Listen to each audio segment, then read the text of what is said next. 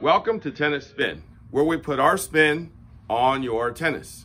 So, viewer question from Lorenzo Del Biondo. Um, I'll just summarize this one. Uh, so, Lorenzo played with a pure drive most of his life. He's currently in college. So Lorenzo um, has elbow problems. Uh, he's saying that the pure drive is too stiff and he's asking me to do a review of the college rackets of today. So Lorenzo is saying that the pure drive is too stiff and his arm's hurting now. Um, and that is actually true. That's actually really true for a lot of people graduating into the college ranks. Um, I mean, at 12 years old to let's say 16 years old, that Pure Drive, that Banana Aero, um, possibly a Clash or an Ultra, um, those rackets are great for that age group. You basically get help, they're lighter, they're more powerful, uh, they're easier to play with. You can easily get away with a lot of shots with those type of rackets. That's because you're a little smaller. As you get to being 16 to 18 and you're growing into yourself, um, getting bigger, stronger, you don't really need that power anymore. So most kids who graduate um, from the high school ranks or are in the high school ranks, um, after they get bigger and stronger, they actually put away those pure drives. They put away that that banana Aero, or they put away that clash. Um, it's time to play with a control racket because you are now stronger and you don't need the help from the racket anymore. So what do these kids graduate into and start playing with, you know, at that 16, 16 year old is what I'm thinking most of these kids graduate into a, let's say, softer, more control racket. Um, and what are they? Um, what I see and what I recommend are the ones that I have on this table here. Um, I mean, there's no really rhyme or reason to what they are. Um, I just like for the kids to use these, you know, to basically neutralize their power. They can hold the racket, hold the ball in the racket a little longer and use their own power. They don't need it from the racket anymore, right? So, um, so I'm gonna actually start with rackets that will provide you with a little bit of power, but still have control. And I'm gonna start with the Babolat Pure Strike. So if you still you know, need a little bit of power, you know, a la Pure Drive Banana Aero, um, then these are the easier transition. I see a lot of college players using this. They're just used to that Babolat feel and they're used to having slightly a little more power, um, easier to generate spin. Yeah, these are great for you. I see a lot of college kids using this.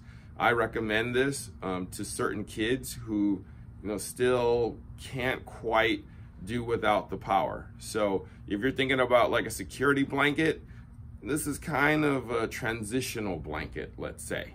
Um, although I do see a lot of kids, you know, playing through their college careers with this. Um, 1820 or the tour versions would probably be what I recommend if you're strong enough to tote that tour or if you're if you hit through the ball we go with the 1820 um, if you're not quite there, 1619 is your racket. That is the most popular, at least in the States.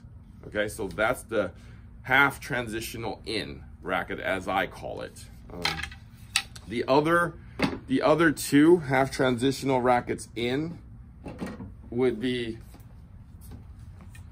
like the E-Zone 98, right? It's kind of the same level as a strike,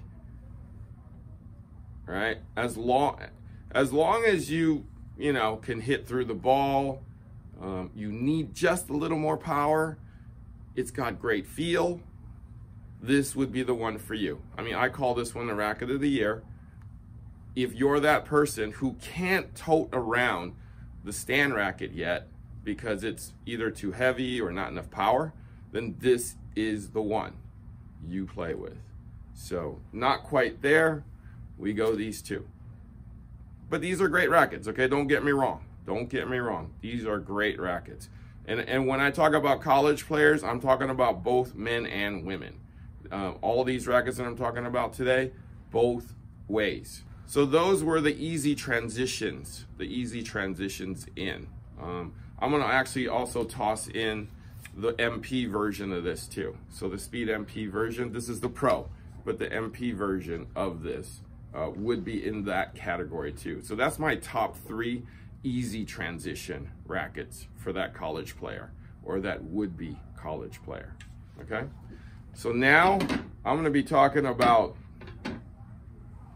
what I see a lot of college players use and what I recommend most kids use as you know they grow into college age um, to adulthood right?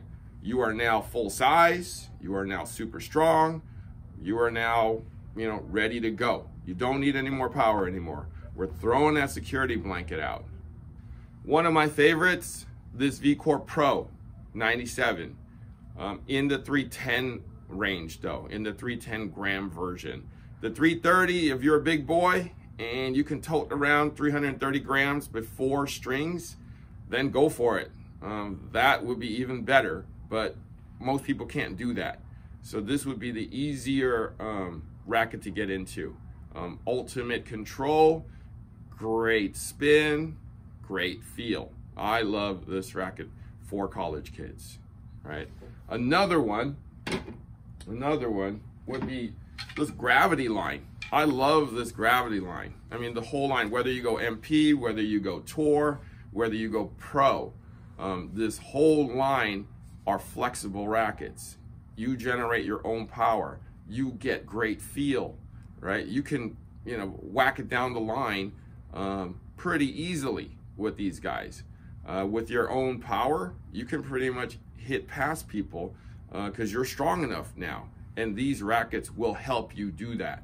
Um, the only question about these rackets is, do you go green or do you go red? Right? But that's the question you have to answer which way you're gonna hold it. But gravities are great. The whole line, except for the lights and all that, but the, you know, the regular, the regular weighted versions would be great for college kids. Now for the ultimate college kid that I've seen, a lot of Europeans use this. Um, not too many Americans anymore. But if you want the ultimate control and you hit through the ball perfectly balanced all the time, these are your rackets. Now, I used to see a ton of college kids use these. These were like the number one rackets in college, the number one rackets in the pros. Um, they're the ultimate in control. If you have the power, these have the control. That's how good these are. These rackets, like they've been making a prestige for over 25 years. And, you know, I feel like the kids are less and less amped to getting into these just because, you know, there's not a lot of power in these anymore. But, but these are great.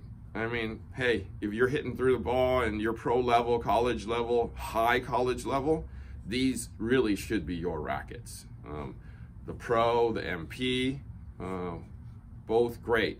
The Tour is kind of the cheater one, so I probably wouldn't recommend that, but definitely the Pro and the MP. Um, if you really want to make it hard for yourself and you're that good, go for the mid. The mid is the ultimate pro college level uh, racket the number one racket that I see everywhere, every college. Um, you guys see it in the pros too on TV, right? The blades. The blades. These are number one. These are number one. Why is it number one? Okay, the ultimate college level racket, even into the pros. Wilson blades. Why are these so popular? Why are these so good? Well, it's actually a medium weighted racket that's pretty head light. You can get this thing pretty you know, pretty fast around with a great amount of top, um, decent amount of power. You don't, like I said, you guys don't really need that much power. So um, these are perfect for you. I see a lot of these being customized, so they're very customizable. Uh, so they start off with a great base weight and great base balance, and then you can kind of alter it to whatever you want. Uh, and I see lead all over the place on these things. Uh, whether you're European or American, I see a ton of these. Uh, it's probably my number one strung racket on the college level. Um, everybody uses this and they love this. Um, even I recommend this racket to that 16 year old who's transitioning from a pure drive or a Pure Aero. Um, less power, pretty easy transition. Um, it's basically like one of those rackets, but you know, brought back, brought back, brought back in power and brought back in, uh, well, pretty much brought back in power because you don't need the power anymore. So this is my, you know, my number one seller in that category. Uh, but all of these are great. All of these are great. You can't lose with any of the ones I talked about. All right, so I hope that helped you. Um, I hope you know you guys try these rackets and transition into these because we don't need a stiff racket anymore. We need a control racket.